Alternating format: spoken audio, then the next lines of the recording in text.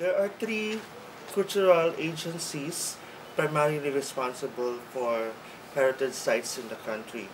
Uh, the first one is the National Commission for Culture and the Arts, then the National Museum, and then the National Historical Commission of the Philippines. Uh, the jurisdictions of these three agencies have been defined. The National Historical Commission is responsible for the heritage sites with historical significance. The National Museum is in charge of the heritage sites with cultural significance.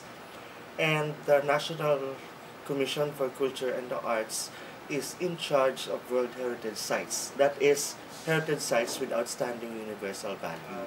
NCCA is the overall site manager for cultural heritage sites such as the Baroque churches, composed of the four churches of Paoay in Ilocos Norte, Santa Maria in Ilocos Sur, Miagao in Iloilo, and San Agustin in Intramuros, Manila, as well as the rice terraces of the Philippine Cordilleras and the historic city of Vigan.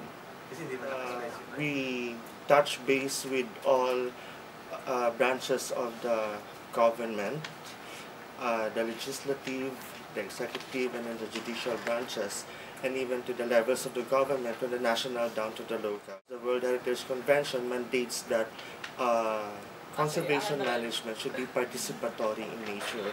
So the immediate stakeholders of the heritage uh, uh, structures are the owners themselves.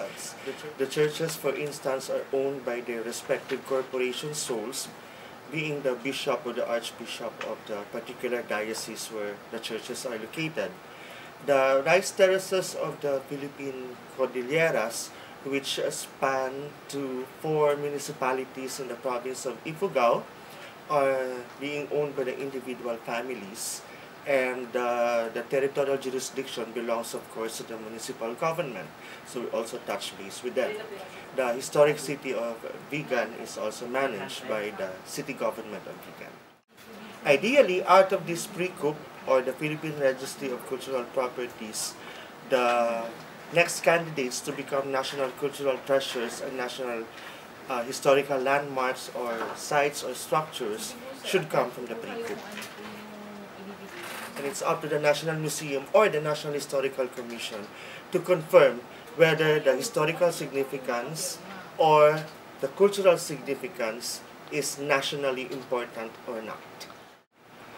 The cultural properties that are in the tentative list are those with potential properties of outstanding universal value subject to the confirmation of the authorized uh, advisory bodies of the World Heritage Convention.